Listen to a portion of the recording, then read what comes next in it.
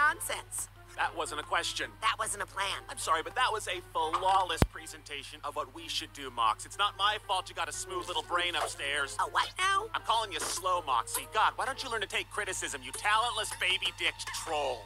Well, why don't you take an art class? Why don't you see how it's?